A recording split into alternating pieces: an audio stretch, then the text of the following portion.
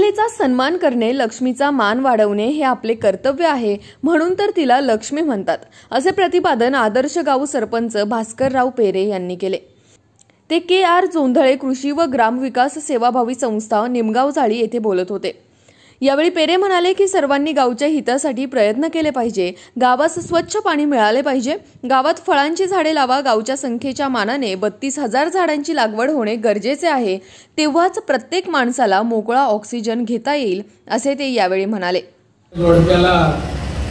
बोलून सत्कार केला हे एक आनंद वाटला. म्हणजे लक्ष्मीला बी तिचा मान दिला. दोन तीन जणांनी नव्हत्या आणल्या घरच्या. ते एक जणाला हळू हळूच विचारलं अरे भाऊ काऊन नाही आणलं? ते म्हणे कोणती आणू? हा वाद होता.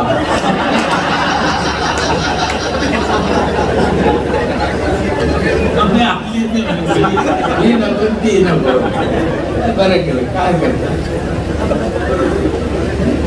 महिला महिलाचा सन्मान करणं लक्ष्मीचा मान वाढवणं सन्मान करणं हे आपलं कर्तव्य आहे. म्हणून तर तिला लक्ष्मी म्हणते ना. आपल्याला लक्षा तरी म्हणते का? काय म्हणा स्वच्छ पाणी द्या. झाडं फळाचे लावा. भरपूर झाडं लावा फळाचे लावा. या गावची लोकसंख्या किती? आठ हजार. झाडं पाहिजे बत्तीस हजार. गावात शेतातले नाही गावात किती पाहिजे? बत्तीस हजार. तेव्हा माणसाला मोकळा ऑक्सिजन मिळाला. एका माणसाला चार झाडं लागते यावेळी त्यांनी संस्थेच्या विविध प्रकल्पांचे कौतुक केले. या कार्यक्रमाच्या अध्यक्षस्थानी महाराष्ट्र राज्याचे माजी सचिव शिवाजीराव जोंदळे हे होते. आपल्या अध्यक्षीय भाषणामध्ये त्यांनी सांगितले की निमगाव जाळी या गावासाठी आम्ही सर्व युवकांनी एकत्र येऊन ग्राम विकासासाठी भरपूर प्रयत्न केले. प्रथम शिक्षण मंदिरांचा विकास ग्रामदैवत व इतर मंदिरांचा जीर्णोद्धार गावासाठी स्वच्छ पाणी रस्ते असे विविध प्रकल्प राबवले. याप्रसंगी त्यांनी भास्करराव पेरे पाटील यांनी राबवलेल्या आदर्श ग्राम प्रकल्पाची सविस्तर माहिती दिली. केलं. आणि मग जेवढे जेवढे गावामध्ये मंदिर होतं त्याचा जीर्णोद्धार केला. नंतर आरोचं पाणी गावाला मिळावं या दृष्टीनं आरोचा प्लॅन टाकला. आणि नंतर ग्रामपंचायतच्या माध्यमातून एक लक्षात आलं की आपल्याला जर विकास करायचा असला तर ज्या संस्था आहे त्या आपल्या हातात पाहिजे. आणि ही संकल्पना ठेवून आम्ही युवक वर्गाने प्रथमतः या ठिकाणी ग्रामपंचायतची निवडणूक लढवली. आणि ता- सर आमची सत्ता ताब्यात घेतल्यानंतर संपूर्ण गावामध्ये वेगवेगळे उपक्रम सर्व गावाला एकत्र घेऊन आम्ही या ठिकाणी प्रयत्न केला.